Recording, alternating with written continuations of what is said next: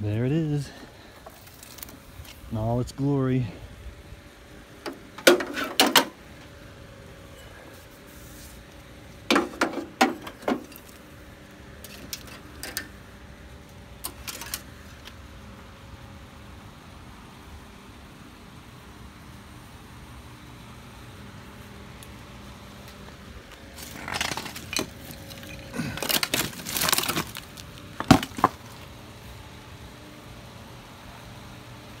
I would say that it probably needs new pans.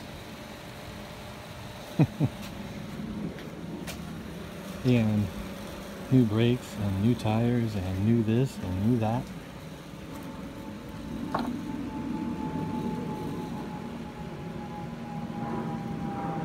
I fought that uh, this part of the seat for a while, couldn't get it out, so I just took the back off. Got the other one out pretty good.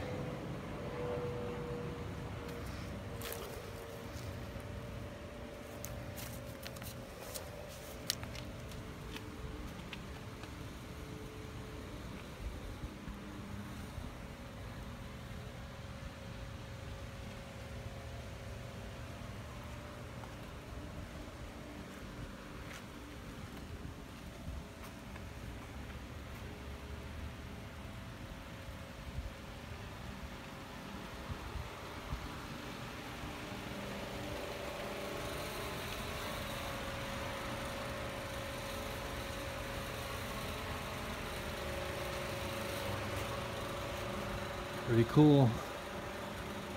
Now I gotta build a dolly for it.